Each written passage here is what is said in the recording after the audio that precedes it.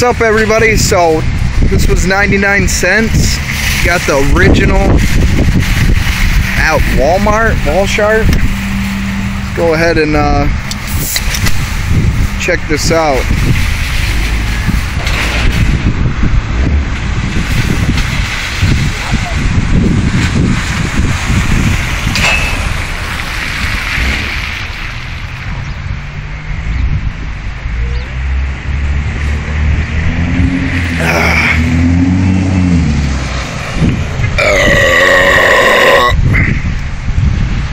Eighteen ninety three boldly blended cola made with cola nut extract, dark brown malt flavor, touch of uh, aromatic bitters, sparkling water, and real sugar.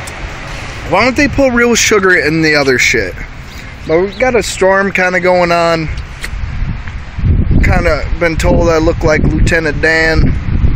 Uh, cheers, guys. Check it out. It was good. Slammed it, of course. It was warm. Just wanted to check one out. The ginger ale, though, tastes like booze without the alcohol content. So that kind of sucks. But, anyways, cheers, guys.